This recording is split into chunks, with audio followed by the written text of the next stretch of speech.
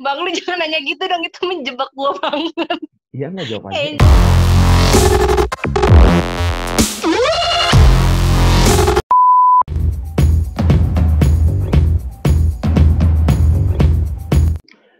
Halo Yo, sehat ya kabar hari ini? Iya. Sehat? Tuhan baik. Sehat. Oke. Nah, em, sebenarnya kan gini, gue mau kenalin dulu nih. Eh, jadi gue mau bikin podcast atau sebenarnya video di channel YouTube gitulah. Sebenarnya kan gue cuma punya podcast doang. Nah, tapi gue pengen coba kali ini dibikin ke YouTube. Jadi gue pengen rekaman dalam eh, Zoom seperti ini gitu, ngobrol-ngobrolnya. Eh, untuk tema dari podcast gue sendiri itu kan sebenarnya kayak bicara soal aku tidak tahu. Aku tidak tahu dan aku mencari tahu.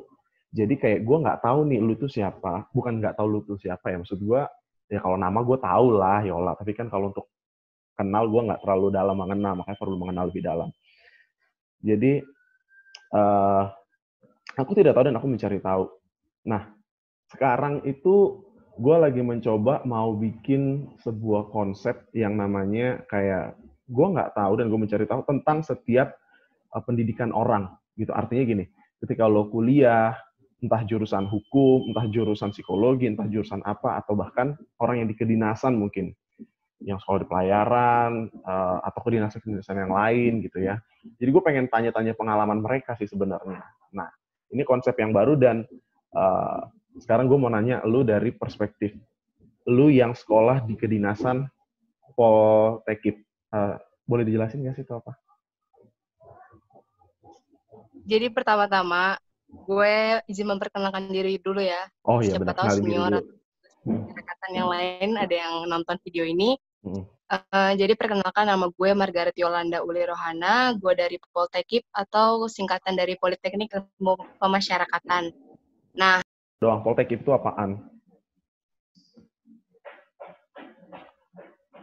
Politeknik. Poltekip itu Hmm. ilmu pemasyarakatan. Nah, itu tuh nanti dia bakal terjun ke lembaga pemasyarakatan, rumah tahan negara, atau balai pemasyarakatan, dan UPT-UPT yang lain. Oh. Nah, eh sebelum kita bahas lebih jauh tentang lembaga-lembaga pemasyarakatan itu, jadi yang gue tanya sekarang adalah gimana caranya atau prosesnya eh, bisa jadi Yola yang sekarang gitu. Jadi Yola yang sekarang. Emang Yola yang dulu gimana ya? Maksud gue gini, gimana sampai eh, lu memutuskan untuk kuliah di kedinasan ini? Sebenarnya kan kedinasan banyak ya. Ada imigrasi lah, ada yang lain-lain lah sebenarnya. Kenapa lu pilih di Poltekip? Apa yang spesial di Poltekip ini? Yang membuat Anda merasa, wow, Jadi tuh awalnya gue juga nggak tahu ya, Poltekip tuh bakal eh, arahnya tuh ke mana sih gitu kan. Eh, tapi setelah gue bela- belajar di sini di Poltekip, gue tuh kayak menarik juga ya gitu. Kita bisa kayak belajar tentang orang-orang yang tersesat, orang-orang yang salah dalam melanggar hukum gitu. Dan kita bisa mempelajari pemasyarakatan gitu. Menurut gue unik sih. Jadi gue milih Poltekip. Hmm. Jadi lu merasa ketika lu eh, memilih Poltekip adalah lu bisa punya akses untuk bertemu dengan orang-orang yang sebenarnya tanda kutip menurut tadi kan yang lu pilih bahasanya adalah tersesat atau orang-orang yang di kalau bahasa gue nih sebagai masyarakat gue bilangnya itu penjara gitu. Orang-orang yang dikerangkeng, yang dibatasin ruang geraknya. Jadi menurut lu itu sebuah kesempatan yang ini ya, yang apa ya, yang membuat lu lu nyaman gitu di situ. Lu suka bertemu dengan orang-orang seperti itu. Sebenarnya gue tuh awal-awalnya gue nggak tahu kan eh, apa namanya tujuan gue buat hidup tuh apa sih gitu kan tapi Hmm. setelah menurut gue pikir-pikir setelah gue di Poltekip ini gue kayak mikir kayak gue tuh punya tujuan gitu Tuhan kasih gue buat hidup untuk membina para pelanggar hukum gitu kan jadi kayak supaya mereka kembali ke jalan yang benar gitu Mhm. Kalau gue yang tersesat, lu bina nggak nih? Iyalah kalau lu masuk lembaga pemasyarakatan ya Oh, dibina ya. Awas saya gue dibinasain ya. Untuk untuk prosesnya sendiri ya dari tes gitu-gitu lu caranya gimana sih? Maksudnya dari lu daftar atau apa gimana formulirnya, pendaftarannya, proses tesnya apa aja yang masih lu tahu lah prosesnya? Kalau selama tes-tes itu kan banyak ya tesnya dari mulai CAT, terus kayak psikolog, terus kayak puji Tuhan sih gue dilancarin pas tes-tes itu ya. Apa sih dengan seadanya gitu gue beli buku di Gramet terus gue belajar kan kalau orang-orang kan kayak biasanya tuh les gitu hmm. kan mereka les untuk psikolog terus hmm. untuk CAT bagian gitu Eh, tadi kan lu kenapa lu milih Poltekip segala macam tadi lu dikasih tahu tuh alasannya dan lu melihat ada sisi sisi yang memberikan lu akses untuk bisa bertemu dengan orang-orang yang pelanggar hukum dan lu bisa membina mereka. Nah, artinya hmm, dari yang lu sampaikan itu, gue menebak lu kan enjoy berarti dong. ya kan? Iya, gue enjoy dong. banget. Okay. Nah, ketika lu enjoy, pada saat proses lu tes ini nih, lu pernah punya, lu udah yakin gak sih dalam pas tes itu kayak, oke okay, gue yakin gue bakal masuk nih. Atau lu tetap punya ketakutan? Ya pasti takut lah bang.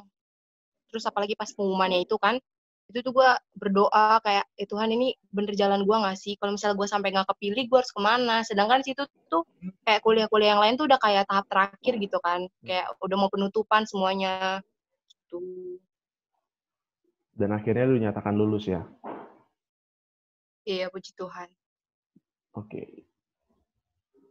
uh, apa yang lu rasain pada saat lu dinyatakan lulus selain seneng tuh Kira-kira lu ngejelasinnya apa yang lu rasain gitu? Mendeskripsikan perasaan lu tuh. Lu nangis gak sih waktu itu? Pasti nangis lah. Nangis ya? Netesin air mata? Ya, terus ya berinang air mata lah. Apalagi orang tua tuh kayak bangga gitu kan. Apalagi pas lagi gue pelantikan, itu mereka bener-bener kayak kerasa, apa sih, gue bisa ngeliat banget kalau mereka tuh seneng banget gue masuk sini gitu kan. Hmm. Berarti lu mensyukuri dong? prosesnya? Apa? Lu mensyukuri apa yang lu dapatkan. Iya.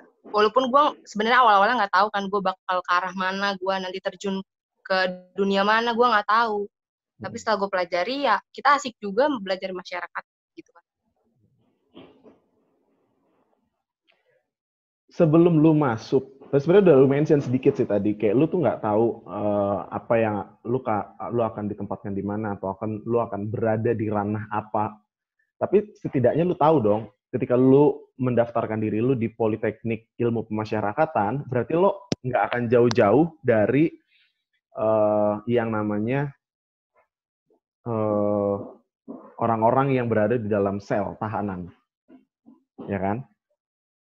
Nah, lu sendiri punya nggak ekspektasi sebelum lu masuk dengan sebelum lu masuk dan sekarang lu udah masuk di dalam Poltekip itu sendiri. Ada nggak ekspektasi lu yang berubah? Atau ada ekspektasi yang uh, tidak terjawab atau terjawab gitu? Gimana? Jadi itu kan ekspektasi gue, gue belum tahu kan gue ke arah mana. Pokoknya gue tuh kuliah dan jadi abdi negara lah gitu kan intinya. Terus hmm. pas gue masuk, gue tahu lah kira gue mempelajari tentang ilmu-ilmu pemasyarakatan. Dan di situlah gue gue tahu bakal gue terjun bekerja di dunia pemasyarakatan. Terus di sini gue juga belajar kan teknik terus manajemen sistemnya gimana buat di pemasyarakatan ini sendiri gitu kan. Buat membina membimbing para pelanggar hukum gitu. Hmm. nah gue sebenarnya masih bingung ya kan ada tahanan tuh yang uh, eh, gue pernah ke Cipinang, terus ada kayak istilah yang ini belum difonis, udah yang difonis, atau kayak gimana-gimana gitu. Lapas tuh ada jenis-jenisnya nggak sih? Ada. Jadi gue terangin dulu kali ya dari awal kan. Uh, jadi pemasyarakatan hmm. ini ada lima UPT. Yang pertama itu lembaga, eh pokoknya ada beberapa UPT. Yang pertama itu ada lembaga pemasyarakatan, yang kedua itu ada rumah tahanan negara hmm. atau rutan, Terus yang ketiga itu ada BAPAS atau Balai Pemasyarakatan, yang keempat itu ada Rubasan atau Rumah Penyimpanan Benda Sitaan Negara. Nah, jadi e, gimana sih prosesnya, gimana orang bisa ketangkep dari awal sampai bisa bebas dari lapas gitu kan. Nah, jadi kalau orang ditangkap sama polisi itu, dia tuh kan gak asal tangkap kan, dia tuh harus Hmm. diselidiki. Kalau misalnya emang dia tuh terbukti melakukan pelanggaran atau tindak pidana. Terus setelah ditangkap dia diperiksa. Terus seluruh buktinya itu apakah benar dia tuh melakukan tindak pidana atau enggak. Terus di selama penahanan itu, itu tuh boleh di rumah tahanan polisi atau rumah tahanan negara. Nah, kalau misalnya di rumah tahanan negara baru di situ di UPT kita kan. Terus proses penyidikan ini eh, masih di tingkat kepolisian, terus tingkat naiknya ke apa naik tingkat ke kejaksaan, terus Hmm. Pengadilan negeri, pengadilan tinggi, atau sampai ke tahap banding. Biasanya kalau tahanan rutan itu berkasnya harus sesuai. Maksudnya itu dipastiin benar kalau orang itu yang orang terkait yang masuk ke rutan itu orang yang terdapat di surat itu kan diteliti sedetail mungkin pokoknya. Terus eh, pastikan juga kondisi kesehatan dia. Terus kalau statusnya masih tahanan itu dia ada jangka waktu, misalnya pertama itu 30 hari. Kalau misalnya dia memperpanjang untuk menjadi 60 hari itu harus ada suratnya. Kalau misalnya emang suratnya itu belum belum ada, kita harus membebaskan dia demi hukum gitu kan. Nah, terus tahanan ini selama di rutan juga diberikan hak kayak misalnya kesehatan dia, terus dia hak untuk olahraga. Biasanya dia ngapain sih olahraganya? Misalnya senam, main bola, main voli, bulu tangkis gitu-gitu kan. Nah, terus eh, dia juga harus eh, menaati tata tertib yang ada di rutan gitu kan. Selama ditahan eh, petugas atau semuanya itu nggak boleh menghakimi dia karena di situ kan masih menganut asas praduga tak bersalah gitu kan. Masih ada kemungkinan tahan itu nggak bersalah. Terus beda kalau di lapas. Kalau di lapas itu yang sudah ada keputusan. Jadi eh, putusannya inkrah, dia dinyatakan bersalah. Tapi bukan berarti juga kita boleh menghakimi dia kan. Kita lakuin di lapas itu membimbing mereka supaya dia sadar apa yang dilakukan itu salah dan tidak mengulanginya lagi gitu kan.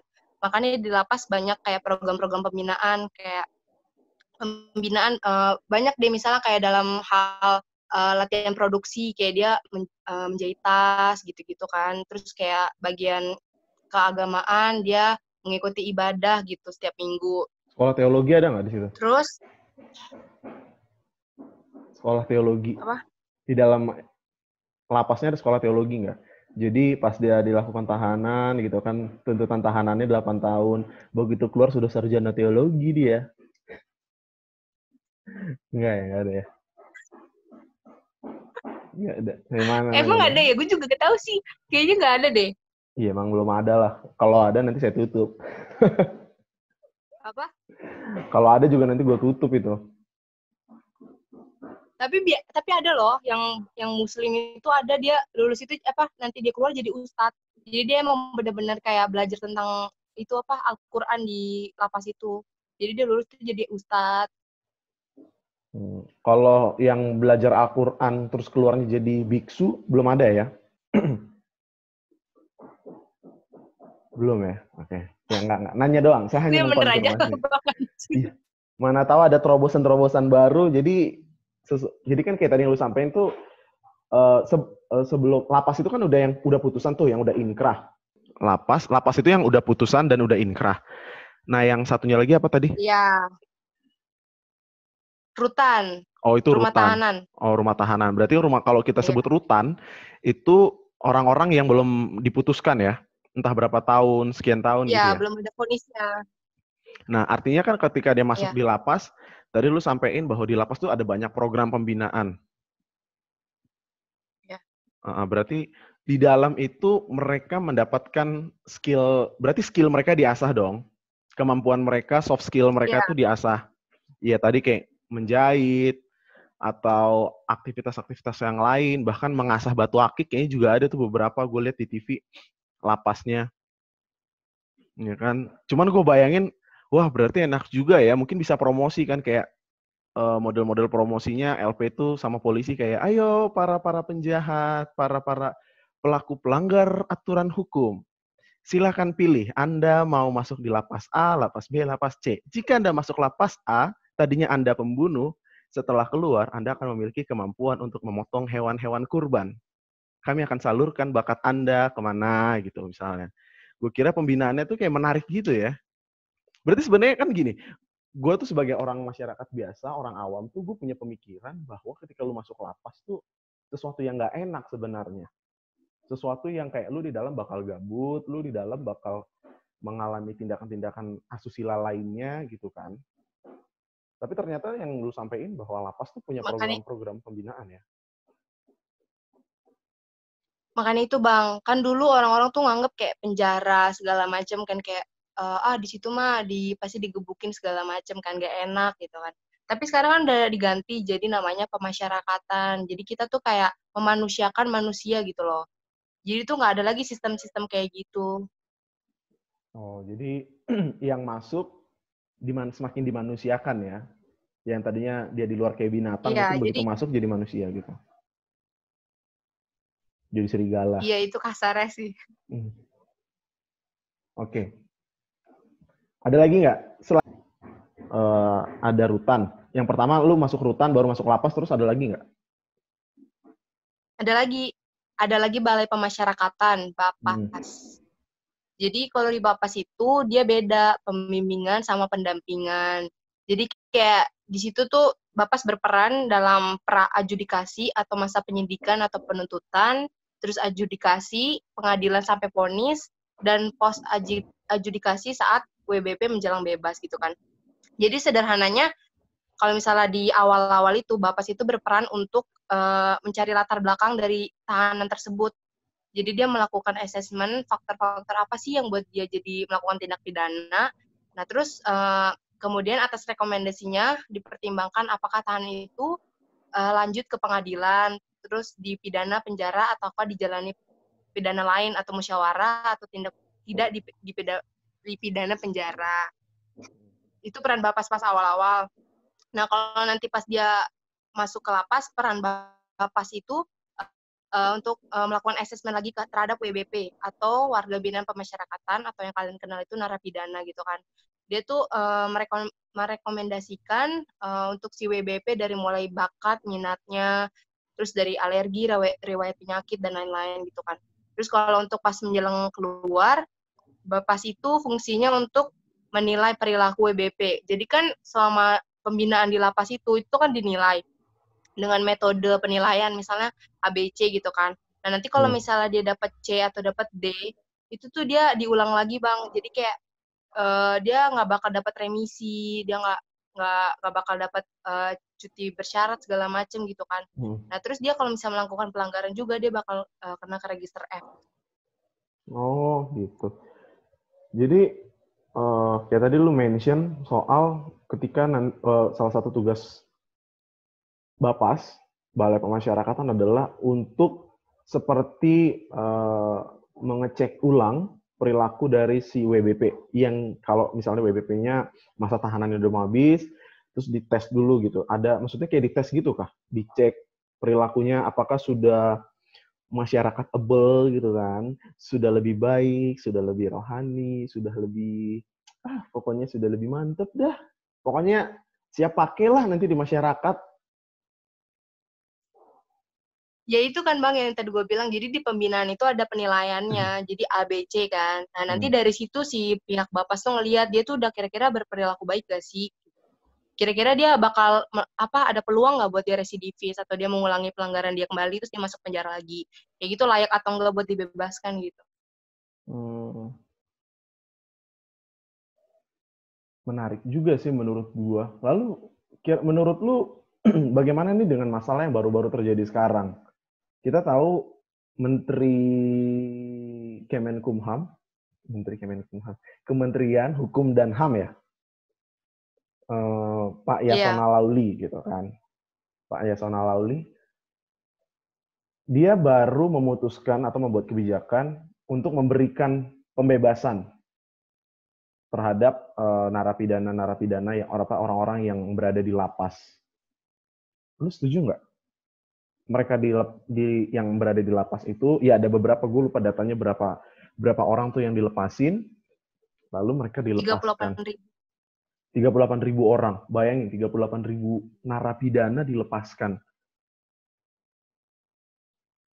Menurut gue itu keputusan menteri itu pasti ada pertimbangan kan dari plus minusnya. Hmm. terus gimana sih ke depannya gitu kan? Uh, menurut gue sih kayak gue setuju aja sih. Maksudnya kayak di lapas itu kan banyak udah overcrowded banget kan, udah benar-benar kayak penuh. Dan kalau misalnya untuk mengeluarkan 38 ribu narapidana yang di mana masa pidananya itu tinggal udah dia udah menjalankan dua per tiga, artinya kan udah bentar lagi gitu kan. Terus dia udah udah program asimilasi, terus dia yang umur 60 tahun ke atas gitu kan. Menurut gue, gue setuju aja sih, kenapa enggak gitu kan. Kecuali emang yang narapidana yang baru masuk, gak mungkin juga dibebasin gitu kan.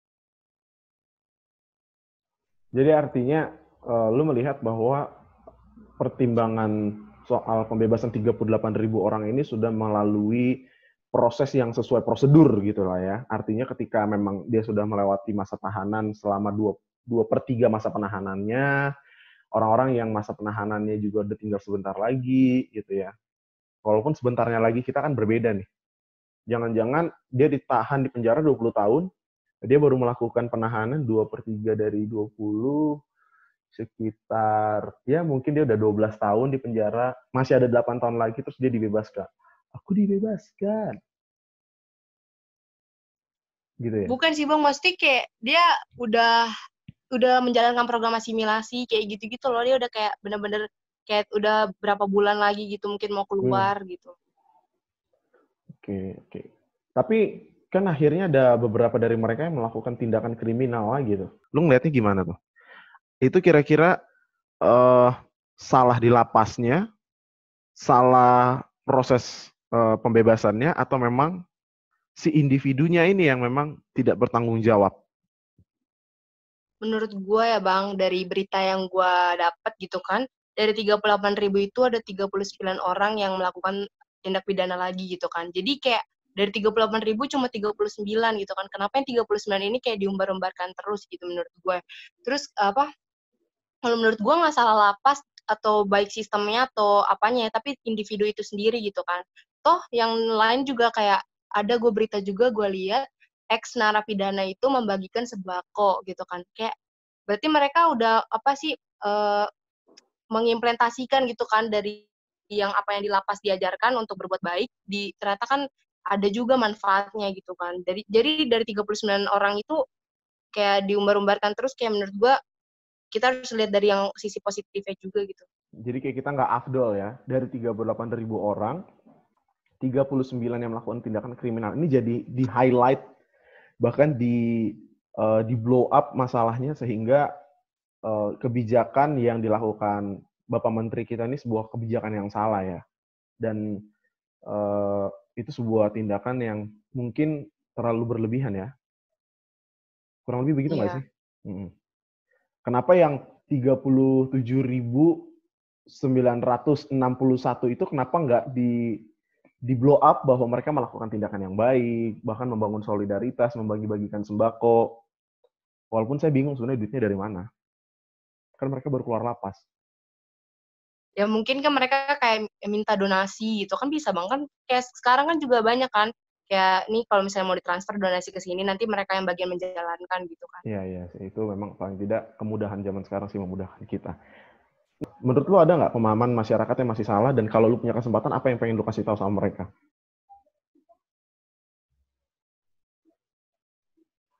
Pemahaman masyarakat yang tentang mm -hmm. lapas ya. Mm -hmm. Ya menurut gue itu sih bang kayak masyarakat masih kayak nganggep penjara tuh kayak kayak sistem-sistem kayak dulu gitu kan Padahal tuh sekarang udah kayak namanya pemasyarakatan, memanusiakan manusia. Jadi kayak uh, terus narapidana juga ada di Bina gitu kan. Jangan mereka tuh kalau misalnya narapidana keluar itu kayak masyarakat tuh masih nggak nerima gitu kan. Uh, narapidana ini masih belum diterima di kalangan masyarakat gitu.